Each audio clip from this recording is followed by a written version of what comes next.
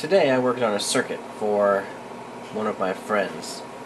He wants to make a, a helmet that has flashing lights, and he wanted at first just to make it so the eyes light up and have a switch inside, and I was like, I can do a lot better than that.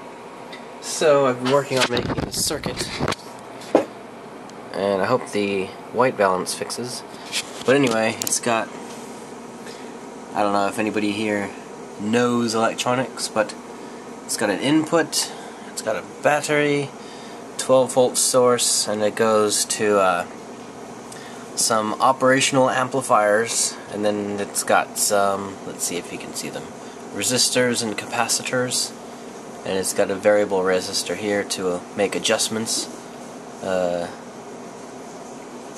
this resistor and capacitor combination here makes a filter for specific frequencies, so I don't know if you can tell where this is going, but certain frequencies will go through this operational amplifier and be outputted to this IC over here, and then there's another one here and another one there.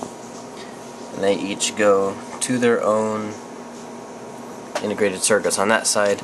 And uh, basically what it will do is take an audio source and make a three band uh, spectrum analyzer with LEDs. So as you hit like the high frequencies here, it'll uh, output a voltage to this, and based on how much voltage there is, it will light up either one LED, two, three, four, or five. It'll send an output to the pins, and then this one for the mid frequencies will output on these pins, and then for the low frequencies over here. So, that's the schematic, and I'm working on laying it out on an actual circuit board.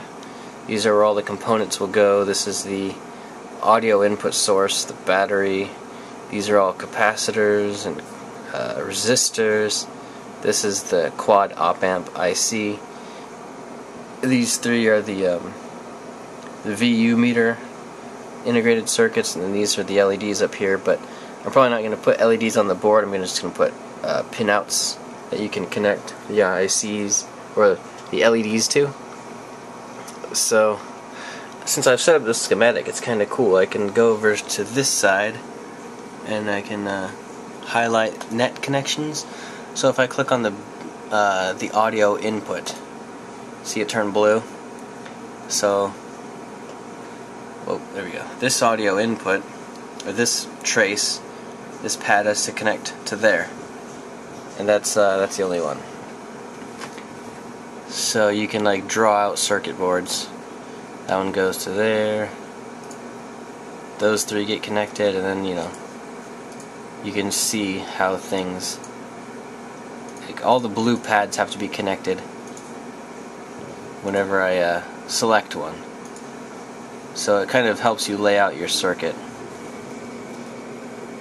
and this is a a program provided by a company and what you can actually do is design your circuit board here and then send them off to design and they will print you a circuit board and mail it back to you.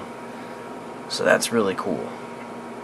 So I'm gonna try and design the circuit board order the components and actually build the thing and see if it works. And if it does it'll be in a future video so it's about 4 a.m. on the 10th, so I'm uh, still recording today's video for tomorrow, but whatever. This is what I've got so far. Well, not blank. I'll show you one layer at a time.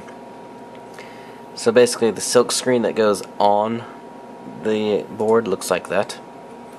So that's all of my components. I have my signal and power coming in here and then I have three uh, 6 pin Molex connectors as the output.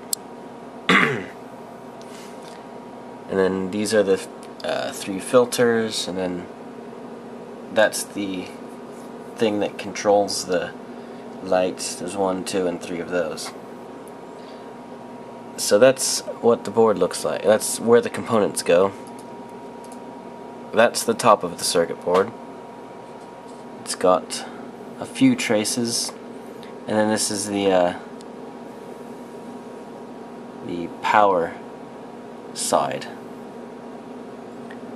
So all these little circles, like there, there's a component there that needs power.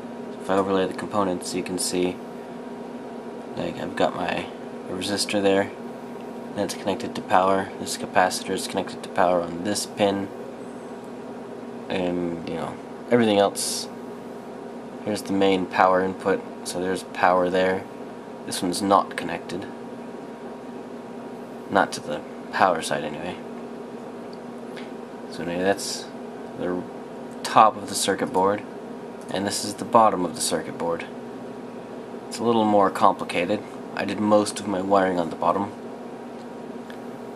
And there it is with the components overlaid, and there's with the top visible. So that's, well, where's it going? Stay up there. So that's my circuit board. It's kind of complicated, but hopefully it works.